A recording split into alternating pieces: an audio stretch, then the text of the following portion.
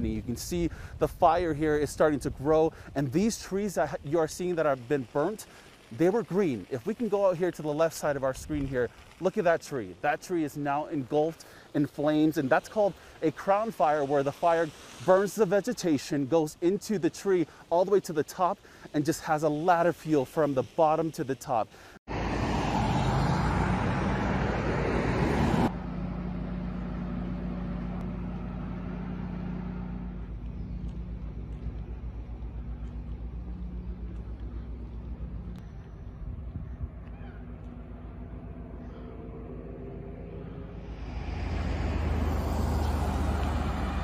Latest developments in the Creek Fire that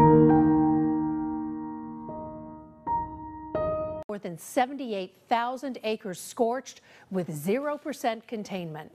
Right now, we're being told that several people are trapped by flames at Shaver Lake. We have team coverage tonight.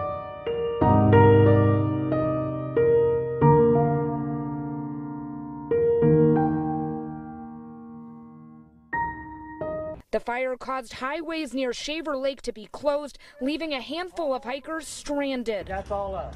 Not worried. Their safety in the hands of a thousand first responders and seven aircraft units. CAL FIRE spokesperson Edwin Zuniga says winds deaden dry trees and terrain the biggest challenges. The focus? Protect Shaver Lake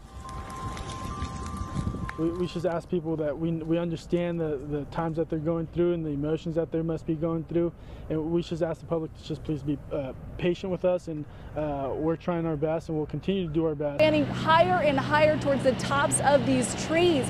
We're looking at ladder fuel, so small vegetation on the ground feeds into medium vegetation and then spews out these large, enormous flames hundreds of feet into the air. That's also creating dangerous conditions, what's known as a pyrocumulonimbus cloud. When all of that hot air shoots up into the sky, it cools, condenses into the ash particles you see in the air, and that's creating a large thunderstorm type cell that's producing cloud to ground lightning strikes and even bigger danger for fire crews battling the flames, try and get this fire under control. But really conditions here are not favorable. You can see the wind rushing towards the fire. Look at it there, fanning the flames there. There's also a big risk for these trees to topple over. We're dealing with dead trees, bark beetle that has killed these trees making it an even bigger fuel source for this fire. We're looking at a very dangerous couple of days ahead. Humidity levels right now are at less than 12%.